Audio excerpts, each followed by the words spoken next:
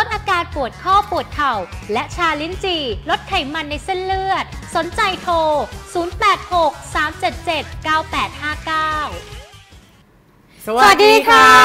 ขอต้อนรับคุณผู้ชมทุกท่านเข้าสู่รายการเมามันคันปากต่อพี่ภูครับจอยสจีค่ะ15นาฬิกาตรง PSI 61 คุณผู้ชมไฮไลท์ช่วงแรกมีอะไรบ้าง ฟ้าใสค่ะครูผู้จัดการส่วนตัวแหกกลับกองนะคะ ท้าเอาสัญญามาเปิดเลยอ่าคุณผู้ชมนะฮะมาที่ข่าวนี้ต่อเลยนะ คุณผู้ชมแคทริโอนาเกรย์นะที่ประกวดที่เมืองไทยนะฮะเขาบอกว่าถูกขู่จากรัฐบาลฟิลิปปินส์นะฮะอืมปมหนุนความเท่าเทียมทางเพศอ่าค่ะ ส่วนคนนี้ชัดเจนแล้วนะคะพี่กนกค่ะลาออกจากเนชั่นพร้อมกับภรรยาลั่นต้องการเป็นกนกคนเดิมอะจริงหรือมั่วชั่วหรือไม่แล้วจะไปอยู่ช่องไหนซึ่งหลายคนก็รู้แล้วนะฮะ ติดตามแต่ว่าช่วงนี้เนี่ยต้องบอกไว้ก่อนเลยว่าสำหรับผลิตภัณฑ์นะฮะอ่าเขาเรียกว่าเป็นชาลำไยตราสวนในเวียงคุณผู้ชมนะฮะเม็ดและเปลือกของลำไยเนี่ยจะมีสารตัวหนึ่งชื่อว่า polyphenol นะฮะอืมช่วยในเรื่องของการเขาเรียกว่าลดอาการเขาเรียกว่าอ่าอนุมูลอะไรต้านอนุมูลอิสระใช่หนึ่งใช่แล้วแล้วก็ลดอาการอักเสบของกล้ามเนื้อด้วย แล้วก็เอามาทำเป็นชาลำไยตราสวนในเวียงนะฮะไม่มีคาเฟอีนไม่มีน้ำตาลคุณผู้ชมนะฮะคุณลุงคุณป้าคุณน้าคุณตาสามารถที่จะดื่มได้อย่างเป็นประจำและที่สำคัญแนะนำให้นักกีฬาที่มีอาการอักเสบของร่างกายกล้ามเนื้อก็สามารถที่จะดื่มได้ด้วย วันนี้ถ้าเกิดคุณอยากจะทานชาเพื่อสุขภาพจริง ๆ แล้วก็ให้นึกถึงชาลำไยตาสวนในเวียง พร้อมโปรโมชั่นสุดคุ้มครับ คุ้มมากจริงๆค่ะ ปกตินะคะ 1 กล่องแบบนี้ราคาเต็ม 550 บาท แต่วันนี้สุดพิเศษค่ะ ลดเหลือเพียง 390 บาทเท่านั้น นอกจากนี้ยังมีโปรโมชั่นสำหรับชุดขนาดทดลองให้อีกด้วยนะคะ ถ้าวันนี้คุณรับเป็นแบบ 2 กล่องราคา 750 บาท แบบ 3 กล่อง 1,000 บาท และแบบ 5 กล่อง 1,500 บาทสนใจโทรค่ะ 0863779859 ย้ำนะคะ 0863779859 ค่ะ ฟ้าใสควงผู้จัดการส่วนตัวนะฮะแต่กลับกลารเป็นว่าการแถลงข่าวครั้งนี้เป็นการแถลงข่าวของผู้จัดการส่วนตัวมากกอุ๊ว่ายฟ้าใสนะคะตกลงไม่รู้ใครเป็นนางงามกันแน่นะฮะอืมเขาบอกว่าแหกกลับกลองมิส s u นิเวิร์สไทยแลนด์หรือเขาพี่ปุ้ยพี่ณะนะฮะเขาบอกให้เอาสัญญาท้ายเอาสัญญามาเปิดกันเลยเนี่ยแหละค่ะเรื่องของสัญญงสัญญาของกองประกวด แล้วก็คุณฟ้าสายนั่นเองนะคะ ก็ไม่จบไม่สิ้นสักทีล่าสุดเนี่ยฟ้าสายเมื่อวานนี้นะคะ ออกมาพูดบ้างหลังจากที่ก็เงียบมานาน โดยได้มีการเปิดแถลงข่าวที่สตูดิโอหนึ่งนะคะที่ช่อง 9 อสมทงานนี้ฟ้าสายจัดทีมนะคะมากับคุณเอสอนุสิทธิ์หรือว่าผู้จัดการส่วนตัว แล้วก็เรียกใช้ทนายถึง 2 คนด้วยกัน ก็คือทนายนงลักษ์แล้วก็ทนายคริสนะคะโต้กลับทุกเม็ดชนิดแบบว่าหนังคนละม้วนไปเลย ฟ้าสายเนี่ยเขาชี้แจงข้อเท็จจริงนะคะสาเหตุที่ไม่ต่อสัญญากับทาง TPN โดยเขาเนี่ยมีการชี้แจงไทม์ไลน์เป็นข้อข้อข้อเลยนะคะถ้าไล่เรียงมาตั้งแต่ข้อที่1เนี่ยเขาก็ไล่เรียงไปถึงวันที่ 6 มิถุนายนปี 62 ฟ้าสายบอกว่าฟ้าสายได้เซ็นสัญญาฉบับแรกกับบริษัท TPN 2018 นะคะในขณะที่เข้าร่วมการประกวด Miss Universe Thailand 2019 โดยในสัญญาเนี่ยมีการระบุรางวัล ระยะเวลาผูกพันสัญญากี่ปียังไงบ้าง แล้วก็รวมไปถึงการแบ่งเปอร์เซ็นต์ให้กับทางกองประกวด และเงื่อนไขการทำงานบทบาทหน้าที่ ซึ่งผู้เข้าร่วมการประกวดในรอบ 60 คนเนี่ยทุกคนนะคะ 60 คนนี้จะต้องเซ็นสัญญาในฉบับนี้ นอกจากนี้เนี่ยผู้จัดการส่วนตัวนะคะคุณเอสเนี่ยเขาก็บอกนะคะว่าการแถลงข่าวของคุณปุ้ย คุณปุ้ยบอกว่าอันนี้ไม่ได้เป็นสัญญา แต่ว่าเป็นข้อตกลงเฉยๆ แต่ว่าในข้อตกลงนี้เนี่ยมันมีการระบุถึงรายละเอียดถึงเงินรางวัล แล้วก็การหักเปอร์เซ็นต์ต่าง ๆ ไว้อย่างชัดเจนนะคะ ด้านของทนายทั้งสองคนเนี่ยเขาก็พูดกันนะคะว่า ไม่ว่าจะเอกสารอะไรที่ผ่านมานะคะที่เซ็น ไม่ว่าจะเป็นการเขียนว่าสัญญาข้อตกลง MOU บันทึก ไม่ว่าจะเขียนว่าอะไรก็ตามที่เป็นเรื่องของสัญญาหรือว่าข้อตกลงเนี่ยก็ถือว่าสัญญาก็ต้องเป็นสัญญา ถ้ามีโอกาสได้เซ็นข้อตกลงแบบนั้น หมายความว่าคุณได้เซ็นสัญญาไปแล้วเรียบร้อย ส่วนข้อที่สองนะคะย้อนไป 17 กรกฎาคมปี 62เนี่ยทาง TPN นะคะได้มีการแถลงข่าวว่ารองทั้ง 4 ท่านได้เข้ามาเซ็นสัญญายกเว้นฟ้าใส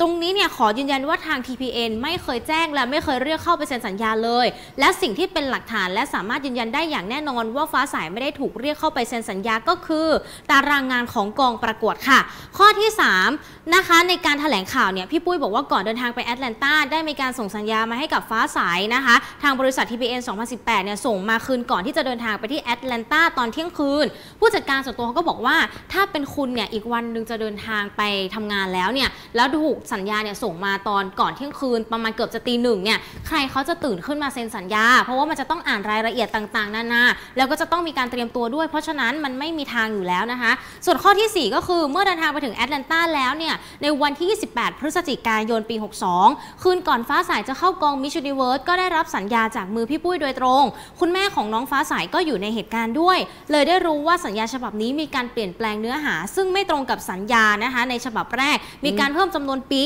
มีการหักเปอร์เซ็นต์เพิ่มขึ้นด้วย ซึ่งคุณแม่เนี่ยก็เลยรู้สึกว่าขอให้เปลี่ยนสัญญาละกันนะตามเจตนารมณ์ของฉบับแรก สุดท้ายสัญญาถูกเปลี่ยนแล้วก็ส่งกลับมา แต่ว่ามีบางข้อที่ไม่ได้เปลี่ยนก็เลยทำให้ไม่ได้มีการเซ็นสัญญากันนะคะ ส่วนข้อต่อมาข้อที่5เนี่ยหลังจากที่กลับจากกองประกวดมิช s น n เวิร์สแล้ว พอได้อ่านสัญญาเนี่ยฟ้าใสก็ได้รู้นะคะว่าอะมันมีการเปลี่ยนแปลงเนื้อหาที่เยอะมาก ๆ มากกว่าฉบับก่อนหน้านี้ ฟ้าใสเลยไม่ได้มีการเซ็นสัญญาในวันนั้น แล้วขอกลับมาปรึกษาผู้ใหญ่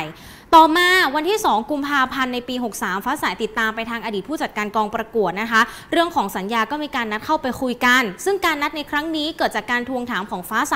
ถ้าดูทำลายจะรู้ว่าฟ้าใสไม่ได้บ่ายเบี่ยงที่จะเซ็นสัญญาเลย และข้อสุดท้ายข้อที่ 7 ค่ะ ในวันที่ 11 กุมภาพันธ์ ฟ้าใสก็เดินทางเข้าไปพบกับทาง TPN อีกครั้ง เพื่อเจรจาเรื่องสัญญา แต่ว่าทาง TPN ปฏิเสธที่จะแก้ไข จึงได้มีการตกลงนัดคุยกัน และสุดท้ายมีการจบสัญญากันในวันที่ 4 มีนาคมปี 63 ค่ะอืมก็จบไปแล้วไงคะอะจบไปแล้ว มันจบแล้วจะพูดทำไมอะเอออืมคือคือเข้าใจน้องๆอะนะคะค่ะที่เป็น FC น้องฟ้าใสพี่ก็ชอบน้องฟ้าใสนะฮะค่ะแต่สัญญาเนี่ย ถ้าเราไม่เซ็นก็คือจบค่ะ แต่เมื่อฟ้าใสไม่เซ็นค่ะค่ะฟ้าใสก็จะไม่ได้อะไรอ่าเราจะไปเรียกร้องอะไรกับเขาไม่ได้ก็ไม่ได้อืมนะฮะอันนี้ก็เห็นใจน้องนะคะเพราะว่าน้องอาจจะทำงานกับต่างชาติมาแล้วก็รู้ว่าเอ้ยฝรั่งมันทำงานอีกอย่างหนึ่งอืมแต่พอเป็นวัฒนธรรมไทยเนี่ย ความเป็นคนไทยเนี่ยมันจะมีความเป็นพี่อ๋อเป็นน้องปณีประนอมพูดคุยกันได้ แล้วก็อารมณ์อร่วยกันได้นี่คือนิสัยของคนไทยค่ะเพราะฉะนั้นเนี่ยพี่ว่าพี่ว่าการมากางสัญญาแข่งกันนู่นนี่นั่นมันไม่ได้เกิดผลแล้วเพราะว่าปีของหนูมันจบไปแล้วใช่ถ้าเป็นมันอัมแมนด้าเหนื่อยอย่างเงี้ยค่ะอันนี้สนุกอ่าอ่าเพราะแต่กำพลัองมันเป็นกิดฟ้าอยู่ใสปั๊บเนี่ย มันคืออดีตนะฮะค่ะก็เป็นกำลังใจให้น้องอะฮะเพราะว่าน้องก็ทำให้ประเทศไทยเรามีชื่อเสียงอะนะเป็นกำลังใจให้น้องฟ้าใสด้วยนะฮะค่ะเล่นของเล่นของก่อนชิงมงใช่ไหมค่ะน้ำเพชรนะฮะลงนะทั้งตัวเลยฮะในการจะไปประกวดมิสเอิร์ธ2020ฮะถือได้ว่าเธอคนนี้เนี่ยทุ่มแรงกายแรงใจให้กับเส้นทางนี้ แบบว่าอย่างมากเลยสำหรับน้ำเพชรนั่นเองนะคะ ปีก่อนหน้านี้เธอก็ไปมาแล้วนะมิสเอิร์ธปี 2019 นะคะ ซึ่งตอนนั้นเนี่ยเธอก็ทำผลงานได้อย่างยอดเยี่ยมเลยปีก่อนหน้านี้ด้วยการผ่านเข้ารอบ20 คนสุดท้าย แล้วก็คว้ารางวัลนางงามมิตรภาพ Best Eco Social Media แล้วก็รางวัลเดินชุดราตรียอดเยี่ยมมาครองนะคะเธอมีเซอร์ไพรส์เด็ด ๆ มาโชว์นะคะด้วยการเตรียมตัวรอบด้าน น้ำเพชรเนี่ยเธอบอกว่ารอบนี้นะคะเธอเนี่ยพอใจกับการเตรียมตัวครั้งนี้มาก เพราะว่าเธอเนี่ยทุ่มเงินหลักล้านเพื่อขึ้นเขียงให้กับคุณหมอที่เกาหลีนะคะทำสัญญกรรมให้สวยเช้ง ถามว่าเอารูปใครไปให้คุณหมอดูนี่เลยรูปคุณอ้ำพัชราภานะคะให้ไปเป็นต้นแบบ เธอบอกว่าเธอพอใจมากกับการทำสัญญกรรมครั้งนี้ และที่ผ่านมาเนี่ยเพิ่งไปทำพิธีมานะคะ ลงหน้าหน้าทองทั้งตัว เธอบอกว่าการทำพิธีลงครั้งนี้เนี่ยทำเพื่อใช้ในการประกวดที่เกิดขึ้นโดยเฉพาะเลย ไม่ได้มองว่าเป็นเรื่องที่งมงาย แต่ว่าอยากให้มองว่ามันเป็นเรื่องของความสบายใจ แล้วก็อืมเสริมความมั่นใจให้กับเธอมากกว่าหนักนะฮะเธอไปลงนะมานะฮะค่ะแต่ว่าประกวดปีนี้วันนั้นเจอน้องน้องบอกประกวดออนไลน์นะหรอฟิลิปปินส์โควิดระอ๋บาดอหนักใช่หนั ปกระกวดออนไลน์ เข้าไม่ได้นะแล้วคะจะทำยังไงแม่ประกวดออนไลก็น์ประกวดจากภาพนี่แหละค่ะหรอมาที่คนนี้คุณผู้ชมนะแคทเธอรีนาเกรนะเป็นสาวงามจากตะกล็อกนะฮะก็บอกว่าเป็นได้มิสซูนิเวิร์สที่เมืองไทยด้วยนะปีที่พี่นากับพี่ปุ้ยจัดนะฮะค่ะถูกขู่จากรัฐบาลฟิลิปปินส์นะฮะปมเป็นหนุนเพศที่3ค่ะเอาแล้ว นะคะ ถูกรัฐบาลประเทศเพื่อนบ้านเนี่ย ตักเตือนเข้าให้แล้วสำหรับแคทเธอรีนาเกรมิช u นิเวิร์สปี 2010เพื่อนบ้านเหรอประเทศเขานะหรอคะฟิลิปปินส์คือประเทศเขาอประเทศบ้านเกิดประเทศบ้านเกิดเพื่อนบ้านเออเขาอย่างนี้ไม่ใช่นะคะล่าสุดเนี่ยเธอถูกรัฐบาลฟิลิปปินส์นะคะขู่ไม่ให้ยุ่งเกี่ยวกับองค์กรสนับสนุนความเท่าเทียมทางเพศ แล้วก็สิทธิมนุษยชนนะคะคือที่ผ่านมาเนี่ยสาวแคทเธอจะมีความที่ออกตัวชัดเจนอยู่แล้วเรื่องของการสนับสนุนเรื่องนี้อย่างเปิดเผยนะคะแต่ว่ากลับกันเนี่ยทางรัฐบาลฟิลิปปินส์เขามองว่า